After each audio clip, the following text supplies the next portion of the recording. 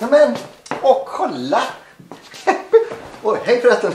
Välkomna till Morningstorp. Kolla, jag fick en pepparkaka av Hanna. Det måste vara från henne för hon var ju här igår. Ja, ja. Idag är det i alla fall den eh, 23 december. Imorgon är det julafton. Oj, vad gott med pepparkaka. Ja, nu tycker jag att det börjar närma sig jul. Och eh, visst är det spännande? Har du...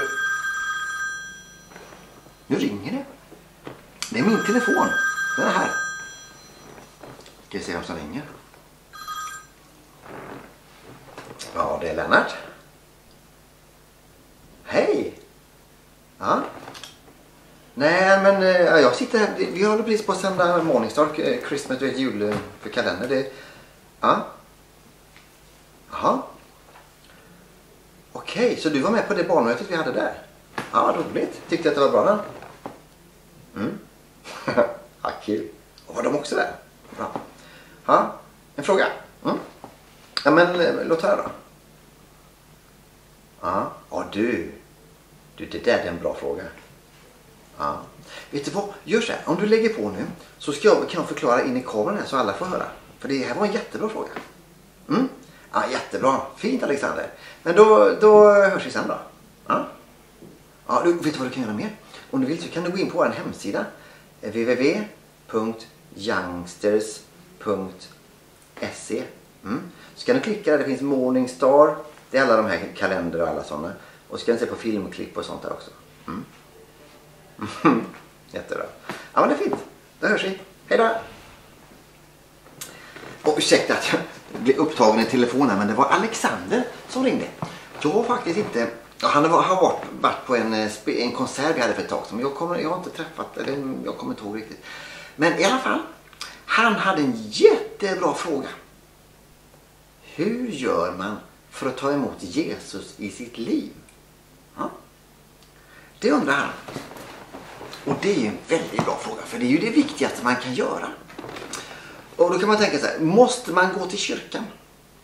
Eller måste man räcka upp handen på ett möte? Eller måste man eh, ha fina kläder och sjunga i kören? Nej. För att bli en kristen, alltså ta emot Jesus i sitt liv, så står det så här i Bibeln att den som i sitt hjärta tror på Jesus och med sin mun bekänner det, han är frälst. Och vi har ju sagt så här att frälst betyder ju räddad. Då, man, då tror man på Jesus. Eh, man måste inte begripa allting som står i Bibeln. Man måste inte förstå allting. Men man får säga ja Jesus, jag vill följa dig. Jag förstår inte allting, men jag vill följa dig. Jag vill tro på dig och du får hjälpa mig, men jag vill hänga med. När man gör det, då är man en kristen.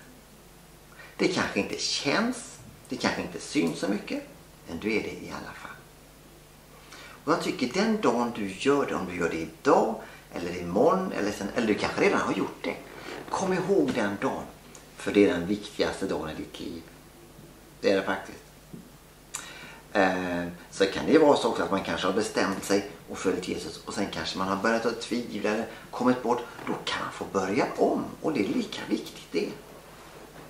Att man säger till Jesus, nu vill jag följa dig. Hjälp mig att bli en bra lärjunge. Och du, det är väldigt viktigt. Det är det viktigaste man kan bestämma. Och bästa.